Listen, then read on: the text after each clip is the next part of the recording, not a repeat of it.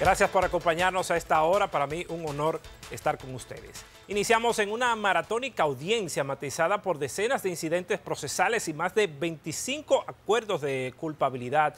El tercer juzgado de la instrucción dará a conocer esta noche si envía o no a juicio de fondo a Jean Alain Rodríguez y a los demás implicados en el supuesto desvío millonario de recursos descubiertos mediante la operación Medusa.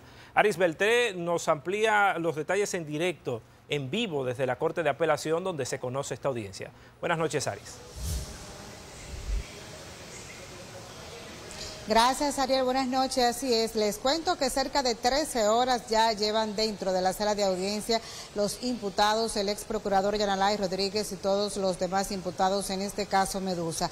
La audiencia que estaba prevista para las 9 de la mañana inició a las 10 y 40 y justo a las 9 y 25 de la noche de este viernes inició el juez del tercer juzgado de la instrucción del Distrito Nacional pues a dar sus motivaciones en torno a la acusación del ex procurador. Previo a esto, pues ya lo ha hecho con los demás imputados. Hay que destacar que de 63 imputados en esta operación, 16 no han hecho acuerdo con el Ministerio Público y el tribunal pues le está dando sus motivaciones uno a uno. Hay que decir también que esta tarde el juez pues dictó un auto de no al lugar a favor de Sara María Fernández.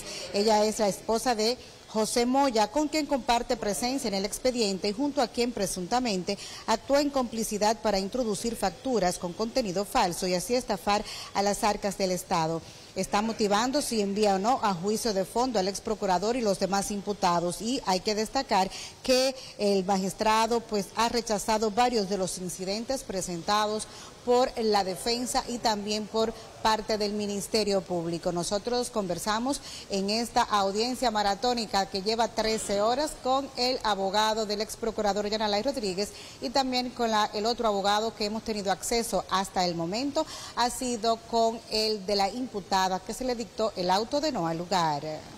Ella eh, formaba parte de la entidad. El magistrado tuvo bien a considerar que en esa, en esa posición de asesoriedad, pues no eh, se le podían retener los tipos penales que se le imputaban. Esa es la, particularidad que hay con relación a la señora Sara María Fernández. Acuérdense que a ellos se le imputaba el delito de asociación de malhechores, de uso de documentos falsos, de estafa y también una acusación con relación a eh, el delito de cohecho o soborno de la ley 448 del guion 06. Todo incidente que aquí se propone y es rechazado, si vamos a juicio, ese es el primer turno de los debates que se habrán de iniciar en juicio de fondo. Nosotros esperamos una ordenanza de no lugar. Incluso toda la imputación en cuanto a Jan Alain, ahí no han quedado todavía demostrados, ¿eh? ninguna.